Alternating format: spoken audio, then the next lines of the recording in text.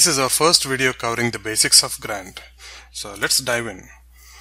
So as part of the regular web development, almost every day we usually do some kind of repetitive tasks. So let us consider some fair list. Minifying CSS files. In order to keep file size small, we usually do minifying of CSS or even the JavaScript files. So minifying is nothing but the process of removing unnecessary blank spaces or lines in your file. For development, we use run minified versions, uh, which actually help us to uh, read the files and, and understand the scripts much easier. And for the production, we usually use the minified versions, which might look something like this, where no one can really understand until and unless we use other tools to unminify them. So just similar to minifying CSS files, we also have the options for minifying JavaScript files and minifying images as well. So which means usually you know as part of the development yeah, the minifying of images could be done at the very beginning itself or sometimes it could be done as part of the workflow itself.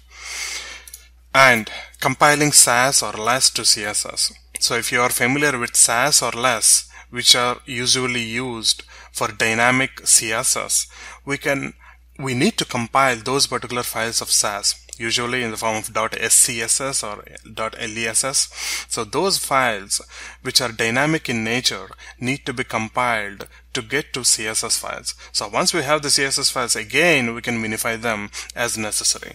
So you can see as a, a simple Sass file might look something like this with all the variables and so on. And once a CSS file has been generated you can see those variables will be uh, replaced with their respective values directly as part of that particular CSS attribute. So in that way, we can have some dynamic, uh, what I say, Sass or less based files which are used for dynamically generating CSS. So if you're not familiar with Sass or less, this is out of scope of this particular video and we are going to cover the same thing in my upcoming videos.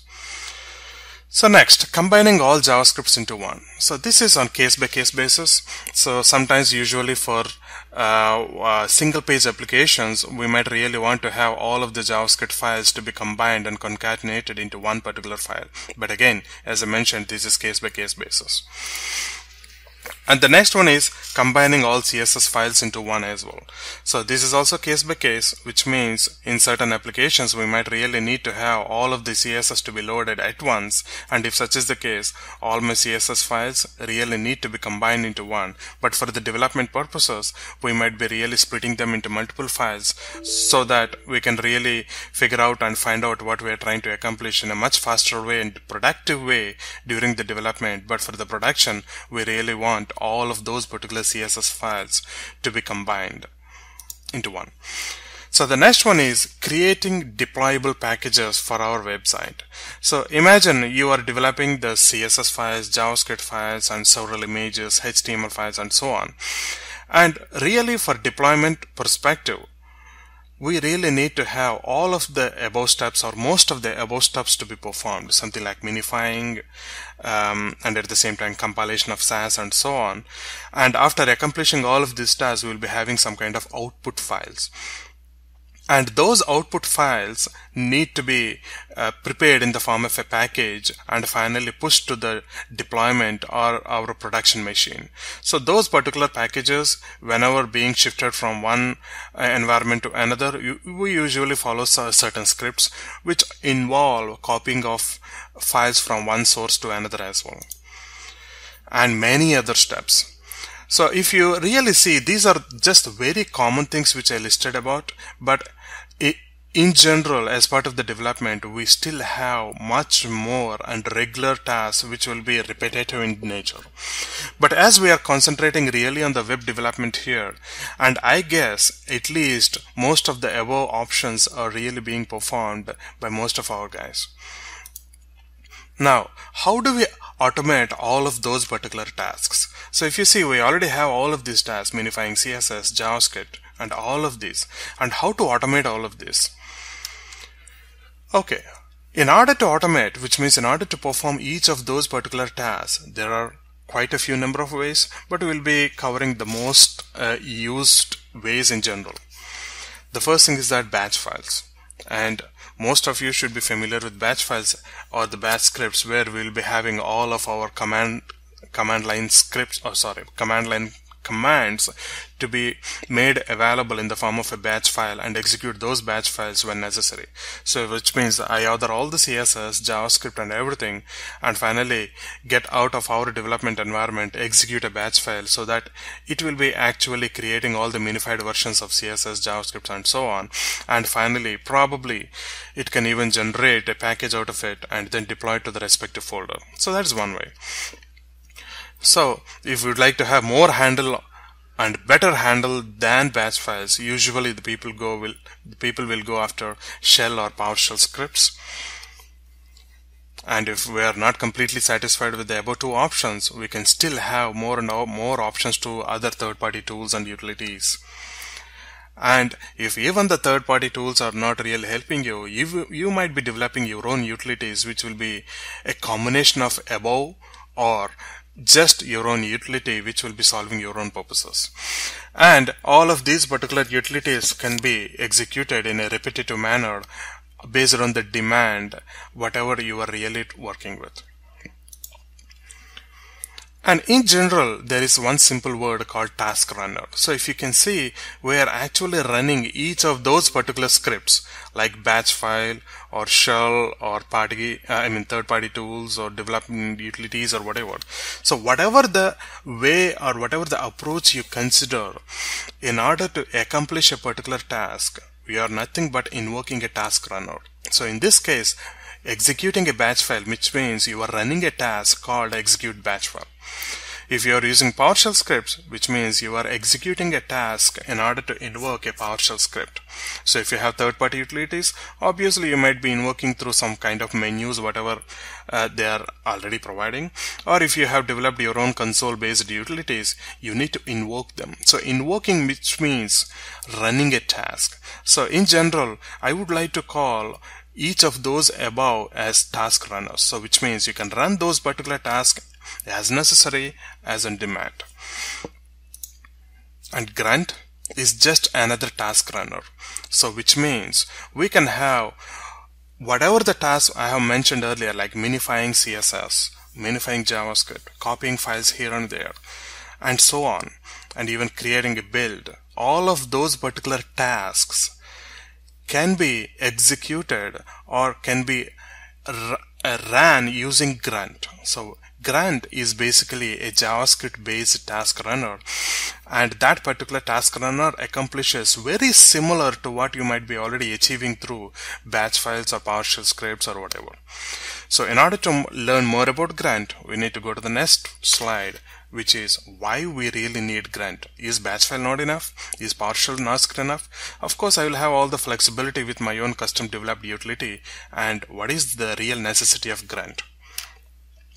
First of all, Grunt is mainly geared towards web development. So which means if you are using CSS or HTML5 or in general JavaScript or React.js, TypeScript, Babel, ECMAScript 6, AngularJS, whatever, whatever the JavaScript tool you are trying to use, and if you are using them there will be certain situations like minifying the task I mean minifying the files or transpiling those particular scripts. Like if you have written something in the TypeScript or ES6 or using React.js you might really need to transpile the code into the uh, real JavaScript so transpile is nothing but transforming plus compilation. So it will be lightweight compilation. I, I do not want to confuse the word with transpile at the moment. You can consider transpile means compile. So whenever you have written React.js or uh, developed TypeScript or ECMAScript 6 based applications, you might be really wanting to compile those particular scripts into um, the native JavaScript. So if such is the case, we really need to have some kind of compilation process to be done, usually called as transpiling. And in order to accomplish those particular tasks, Grunt or any kind of JavaScript task runner is going to be your best bet. So I just wanted to make sure that Grunt is not the only task runner available. There are a couple more which are uh, you know famous as well but as part of this video we are going to cover only grunt so I would like to focus mostly on grunt on. So grunt is specifically developed for the web development processes and web development tasks to execute concurrently or to execute on demand. So what is the specialty of grunt First of all, Grunt has plenty of plugins. So which means for each and every particular task you have a plugin. Minifying CSS, you got a plugin. Compile Sass, you got a plugin. Minify JSS, you got another plugin. And there are more than 5000 plus plugins currently available. And you can make use of all of those plugins as part of your particular Grunt part and whenever you are actually downloading and using those particular plugins you will be configuring each of those plugins to perform as tasks as part of your particular execution. So in general each of the grunt development or grunt based task whatever you're trying to run is usually configured in the form of simple configuration like a JSON object. And that particular configuration will be helping the grunt itself to load the plugin and execute the respective task based on the demands from the user and we can simply execute our particular grunt from the command line itself. So which means uh, using your command prompt you can execute your grunt task. It can also be used from several other web development tools which include Sublime Text or uh, WebStorm or even your Visual Studio. So which means the grunt can be integrated as part of all of these tools and if you are using Visual Studio just imagine whenever you are compiling or building your ASP.NET MVC application, you would also want your grunt task to be executed. That can also be made available as part of the build process. So which means for every time or whenever I press build in Visual Studio, I would like to have the grunt also to be executed to perform its own tasks. Even that could be accomplished as well. So all of the tools at least from Visual Studio 2013 onwards, you have the integration to Grunt and other JavaScript-based task runners. This is very important. Grunt runs on Node.js. So if your machine does not have Node.js, you cannot run Grunt. Grunt depends on Node.js and Grunt runs on Node.js. So it is important to make a note that you need to have Node.js and the respective npm installed on your machine in order to have Grunt. And if you're not familiar with Node.js or npm, just refer to one of my previous videos which covers Node.js and npm in complete depth.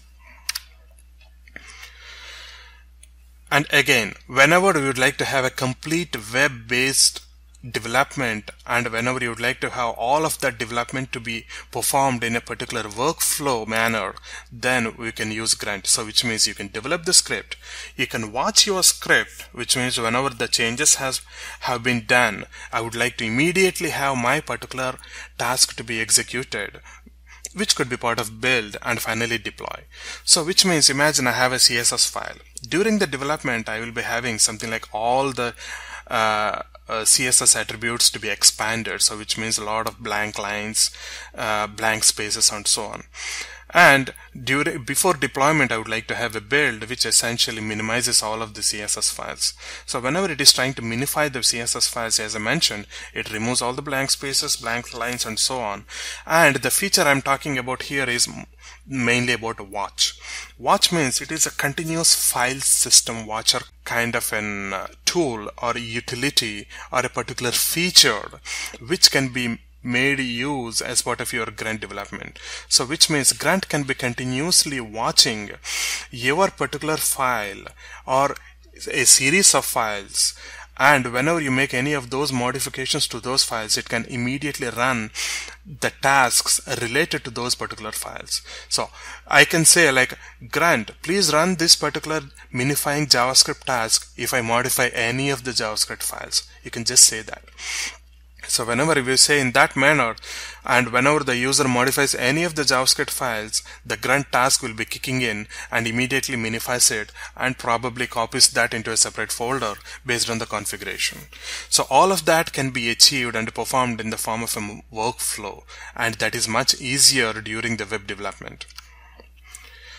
And best of all, Grunt is open source, which means it is free to use as part of your development and it is cross-platform. This is pretty important. Whatever the Grunt script you might be writing or Grunt plugins you might be downloading or Grunt tasks you might be performing, the configurations, everything are always cross-platform. So which means you can use the same Grunt commands, same task, same configuration, same scripts to be developed using Windows and carry over to Linux or uh, Mac machines and execute the same without having any problems or not even one single character being modified. So whether you develop using Mac or Windows or Linux, all of the scripts, all of the development, all of the executions using the grunt is identical. And what do you need in order to have your grunt to be part of your development. The first thing is that you need to have Node.js and NPM. As I mentioned, we really need to have Node.js and Node Package Manager installed, or configured on your machine. If you're not familiar with this, as I mentioned, check on one of my videos, which actually covers this one in complete depth. The next thing is that you need to install Grunt client. Usually this is the package name grunt-cli. So this is the one you need to install it and it is a node package. So people usually install that one as a global install so that the same grunt client can be used across multiple other projects, but is but it is up to your wish. And next we need to install Grunt itself. So you have two parts, Grunt client and Grunt. And of course we also have the third part called Grunt plugins. So all of these three together we can all call it as Grunt. So after installing Grunt client, which is mainly used in the command line, that is all the commands which can be performed from the command prompt need to be, I mean, will be available as part of Grunt client. And this is the node package mainly for the framework of the Grunt itself in order to execute any of those Grunt plugins. So these grunt plugins we you can install as necessary. So obviously I do not want all the 5000 plugins to be installed on my machine. So those will be on demand. So which means if you know what plugin is necessary for project just download only that. And grunt framework will be taking care about how to execute that. And grunt client will be invoking the framework to execute the respective plugin in the form of a task and finally the grunt configuration. So this is essential and there is no download for this one. You have to create it manually. Why? Because that is configuration. So which means the user has to specify how the respective plugin needs to be executed in the form of a task. And that task needs to be performed based on certain parameters. Like this is the source folder this is the destination folder these are all the files to be watched and so on. So all of that configuration need to be made available in the form of a JavaScript file and usually people will create a file called gruntfile.js and that is the default file what even the grunt can understand. So it is not essential to have the same file name as gruntfile.js but that is the usual practice or the standard way of uh, having the grunt file.js but if you would like to have multiple grunt files and multiple configurations that is also possible Next, working with Grunt. So in order to work with Grunt, as I mentioned, first of all, you need to install all the necessary node packages. And the next thing is that you need to create a Grunt configuration file, which is nothing but gruntfile.js. And this gruntfile.js will be acting as the entry point for our Grunt task runner. So without gruntfile.js, there is no way you can have the Grunt to be executed or uh, the configuration to be taken into the consideration. So once you create a gruntfile.js, you have created a node module. So nothing but you are creating a node module script in order to have grunt file configuration to be developed. The next thing is that we need to load all the plugins as part of the grunt file, define and configure all the tasks or the targets which are necessary in order to have your particular grunt task to be achieved. So you will be confused with all of these four at the moment. So just skip to the next slide whenever um, uh, you know if you're not understanding this. So the next thing is that execute the grunt file. So once the grunt file has been created and you have configured that with all the necessary options the next point is to execute the grunt file in order to execute the grunt file as I mentioned you can use your command prompt directly and use a couple of commands to execute the grunt itself or you can also directly use your particular web development tool like Visual Studio or WebStorm or Sublime where you can have those particular grunt commands to be made available and uh, make them as part of your workflow or the build process. So let us try to understand how the grunt file.js and how does it look like. A simple one. I'm, I'm not considering really complicated one here.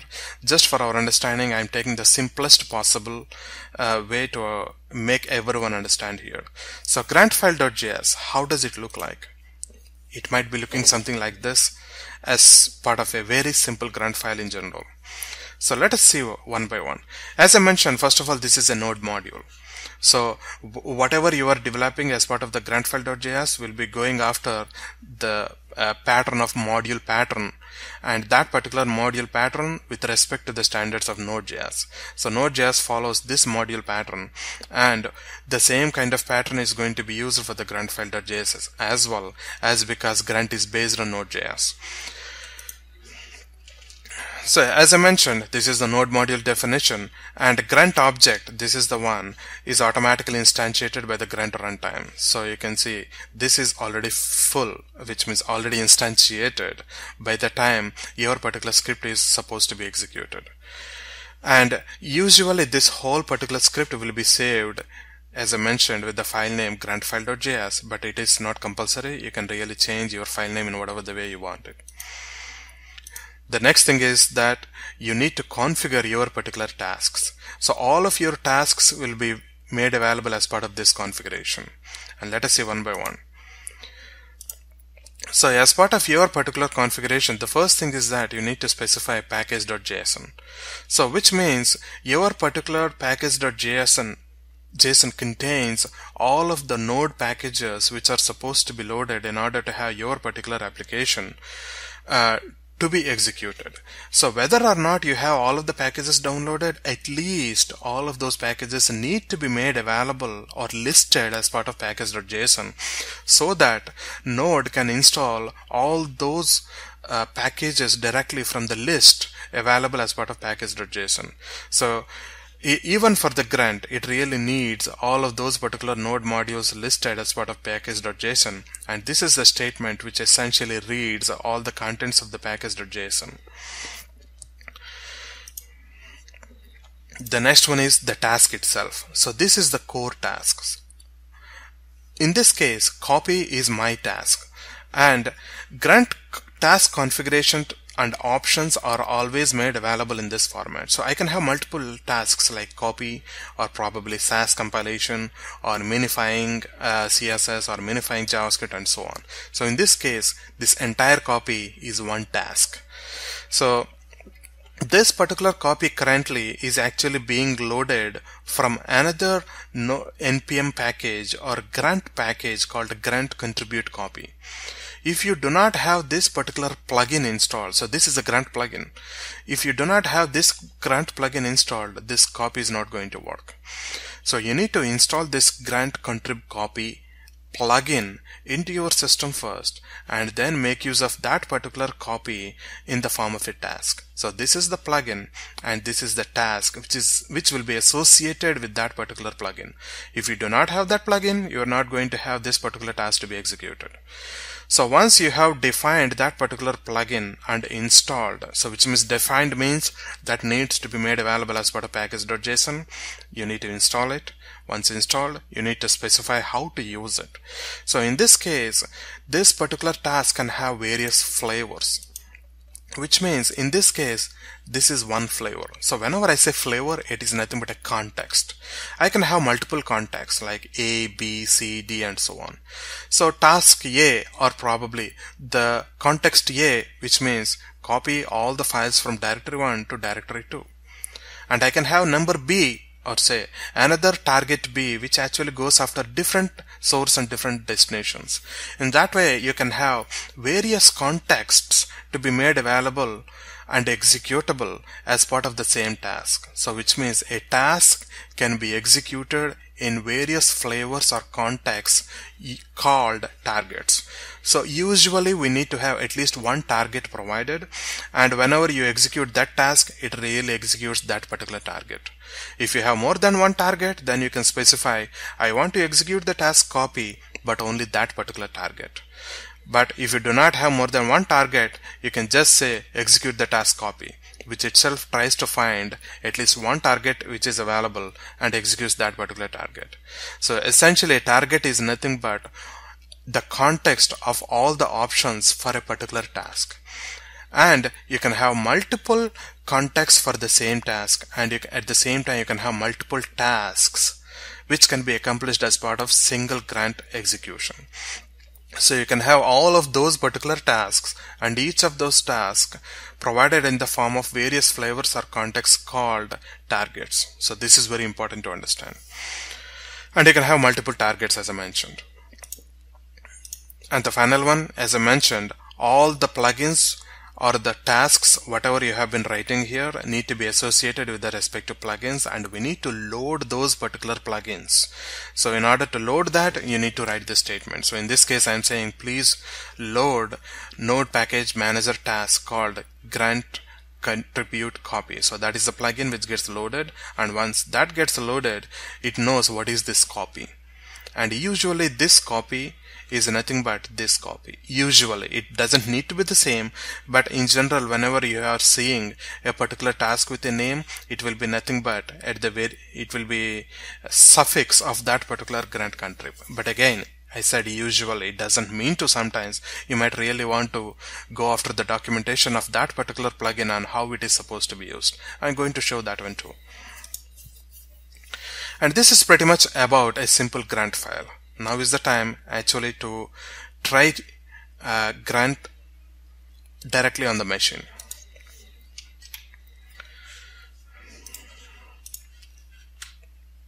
Okay let me open command prompt first. So as I mentioned we need to have node and npm already installed on your machine. So in order to test whether node is installed or not you can just say node dash v which means it tries to give you the version what you are working on for the node. So this is the node version. If you do not have this one working you might be really need to have your node installed or configured properly. So uh, as I mentioned just check out my previous video on this one. Similarly you need to have node package manager installed which usually comes with node.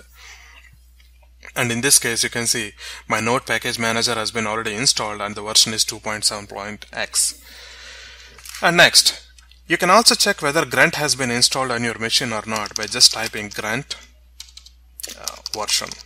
And now you can see there is no Grunt available as part of my particular machine. So which means I need to install Grunt and then uh, define my Grunt file and at the same time download the respective plugins then use the grunt commands to execute so let us see all those one by one so the first thing is that as I mentioned in my previous slide we need to have Grunt client to be installed. So Grunt client is mainly used for uh, providing command features. So which means command line features to your command prompt.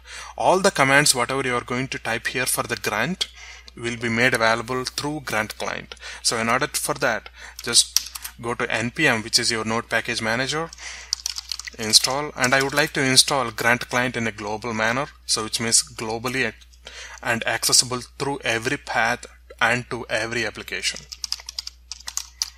So you can just type something like this to install Grunt client and it would take a couple of minutes to install Grunt client.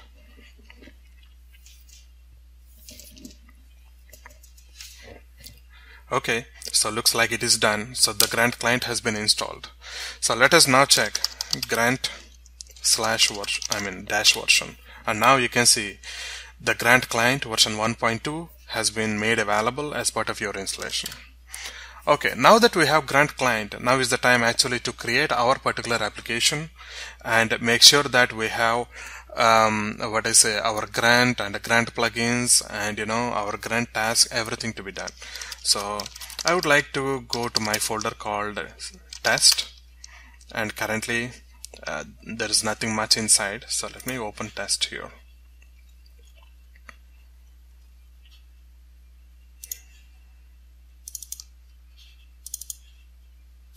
and you can see there is no and of course this is from the WebStorm we do not really need it.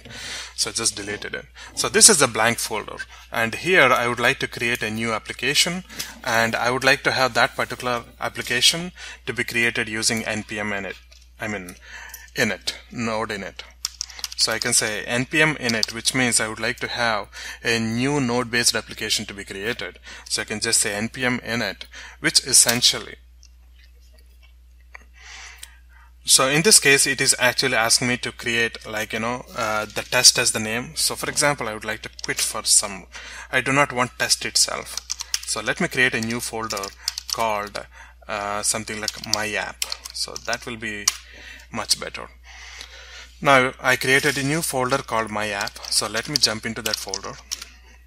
And I would like to have this particular folder to be acting as if that is my particular application folder.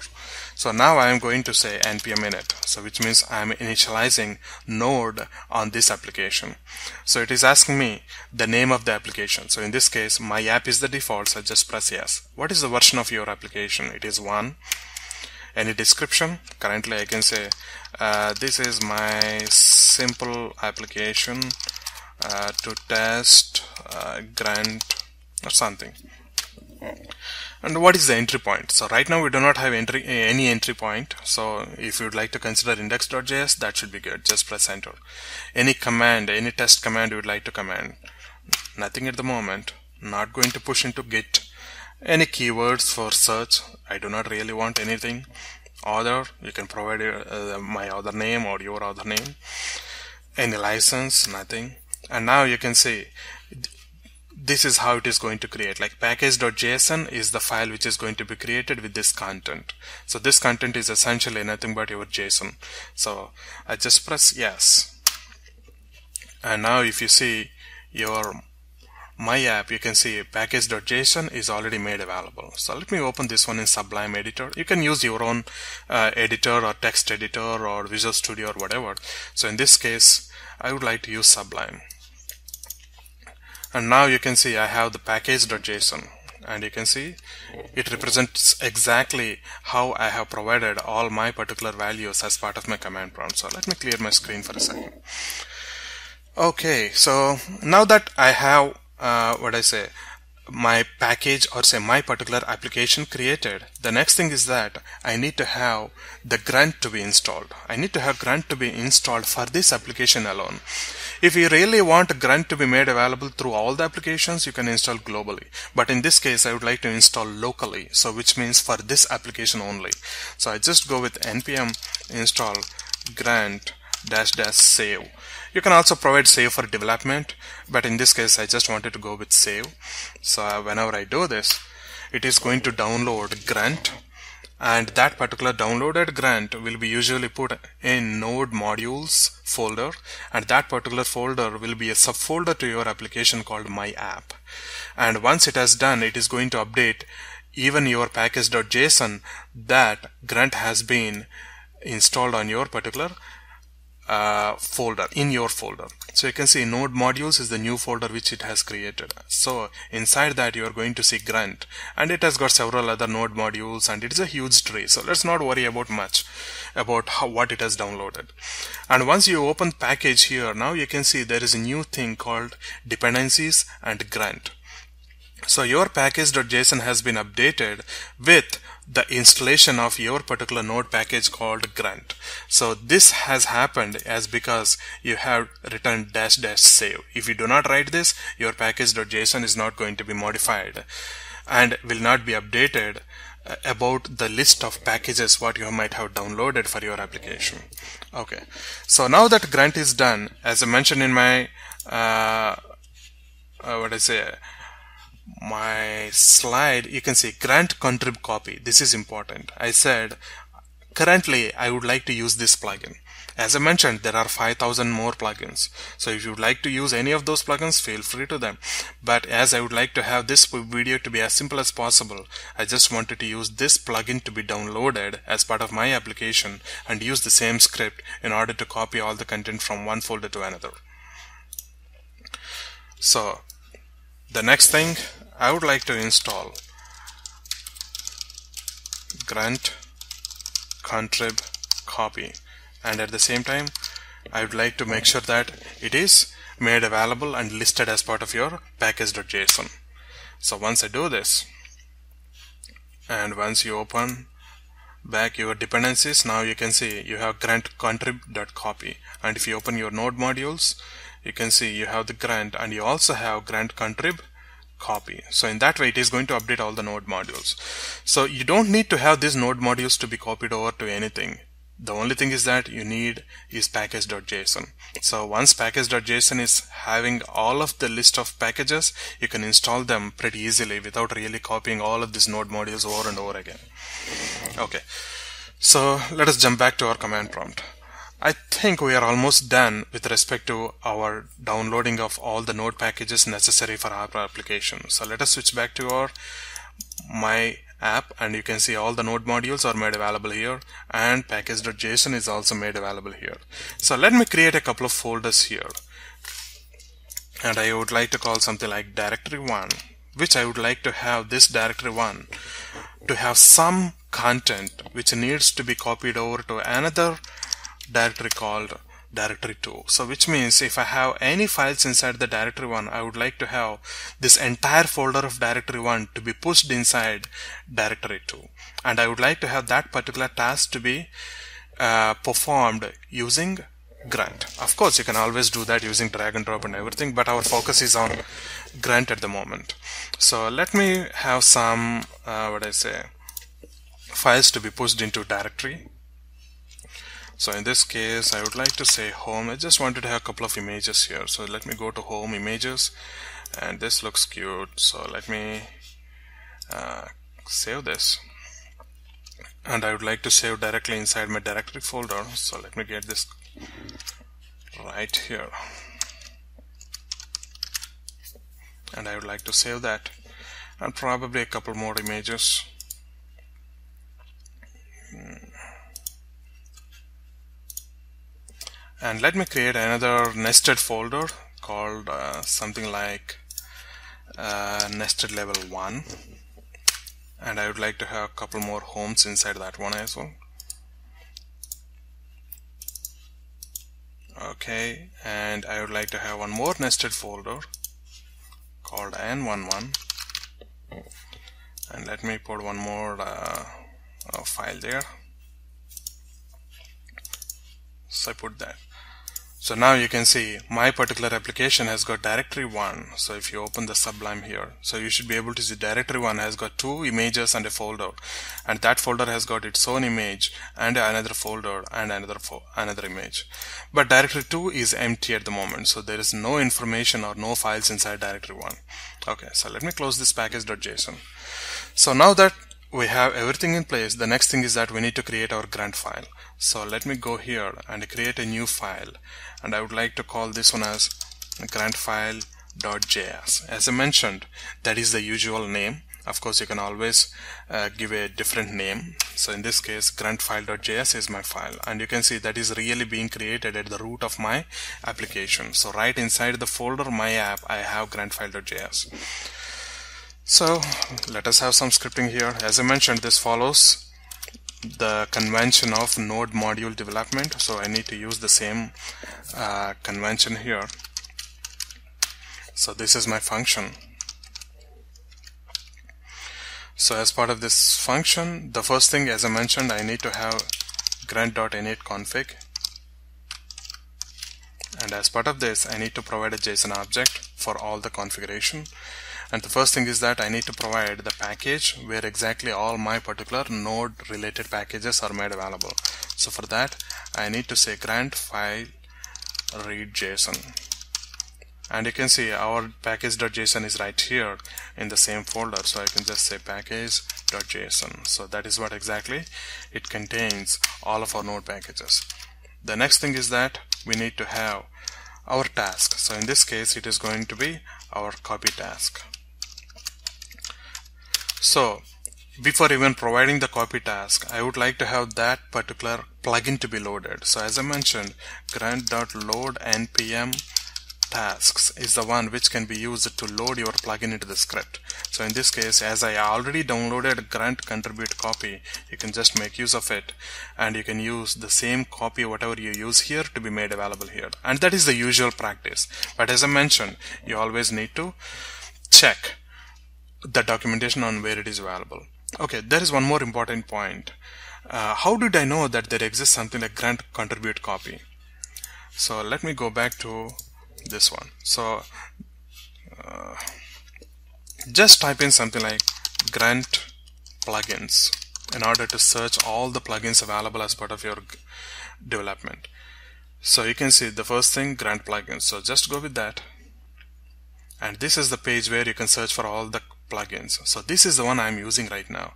And you can see there are other plugins called watch clean uglify and so on. For example if I say something like concatenating of files if you search for that you can see there is a plugin for concatenation of files. Similarly let us see if I have something for minify. And you can see the CSS min is the one which can be used for CSS minification as part of your application. Similarly, image minification. So let me say HTML minification and JSON minification. So you can see that there's uh, there's really a lot, and really you can see it has filtered out of 5,600. So which means literally there are 5,600 at the moment. So we can uh, search for whatever the kind of plugins you really need for your particular task. And once you come across that for example in our case I searched for copy. So I searched for copy and the first thing I searched I mean first thing I got is contribute copy and it was by grunt team. So it, it looks like it is more reliable as because this is directly from the team of grunt and you can see how many number of downloads it is like almost a million so if I select this guy, now you can also see like grunt copy, grunt contribute copy right here. Okay, so this is not supposed to show this error. I'm not sure why it is showing this. Okay, so there's kind of a bug in npm.js, I guess. So now you can see grunt cop contribute copy. This is mainly used to copy files and folders. How do you do that? Now you can see this is exactly the same kind of command whatever I put in earlier. And how do you load that? Grunt load npm task copy. You can see I'm really using the same thing what was made available as part of the documentation. And what are all the options which are available process no process encoding and so on. And you can see I'm using this configuration right now. So you can see if you switch back to my particular sublime you can see this is the configuration thing what I'm trying to do. So that is exactly here. And this is the target name. As I mentioned this would be A B C or whatever.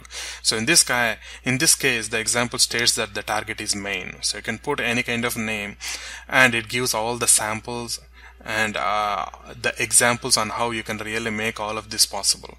So every particular plugin will have this kind of documentation. So it is essential to really go through that particular plugin related documentation at least once before even you trying for yourself. So there is a lot you can really copy and uh, paste from the examples which are, are usually made online for the documentation and just uh, tinker with whatever the existing scripts the documentation provides and that will be the most productive way on how you can configure your particular grunt task. Anyway, so let us switch back here. So copy and uh, the first thing as I mentioned I would like to have a target so in this case it could be A or probably T1 uh, and that is another JSON object. And in this case I would like to provide the source as dir1 and I would like to have all the files inside the dir1 to be copied to dir2 so there is one important thing I would like to mention here. So when you are saying source so which means this entire dir1 including its files will be moved to dir2 so which means dir2 will have a subfolder called dir1 that is important as part of this configuration. So I just save this. And now let us go back to my command prompt.